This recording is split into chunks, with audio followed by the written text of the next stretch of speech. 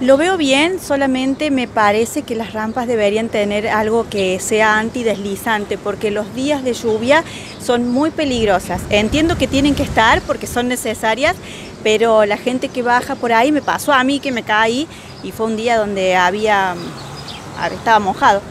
Ahora no me he visto que están haciendo ahí al frente de, eh, de Casa Pesco, pero en acá en todas las esquinas hay doble, en cada esquina es doble, no es que hagan una sola.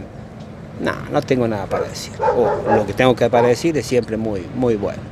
Sí, yo hace seis años que vivo Andesa y, y la camino a la ciudad porque yo vengo de, otro, de otra ciudad que es Balneario y trabajé en la Guardia Urbana, así que conozco más o menos el, el panorama y veo cómo está la ciudad y tengo que decir que está bien, me gusta, está bien controlada eh, toda la señal, las esquinas bien señalizadas. Sí, todo lindo. ¿Puede cruzar bien en las esquinas? Sí, gracias a Dios, por lo menos, sí. Bien, ¿y en los locales le cuesta, le cuesta subir las escaleras? Ah, sí, sí, alta, sí, pero si no, no. Bien. Por ejemplo, ahí esa escalerita ahí bajo bien.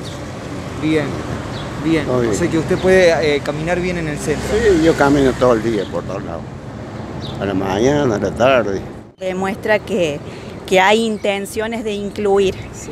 así que sí, me parece genial. No, sí, rampas hay. Bien, Están las rampas, incluso se han hecho rampas nuevas y todo. bien, lo ves genial. Yo lo veo bien, sí, sí. Bien. Sí, sí. Acá en Deza sí, no hay mucho para quejarse.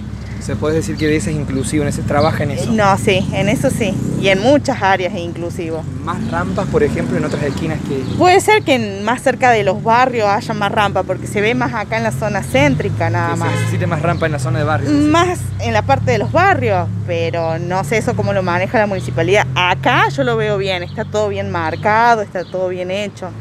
No, en eso no, no veo problema. Si el negocio tiene una parte más elevada, este, bueno, sí, claro, porque ahí cómo hace entrar una persona mayor, eh, una persona que esté en silla de ruedas, con bastón, es imposible.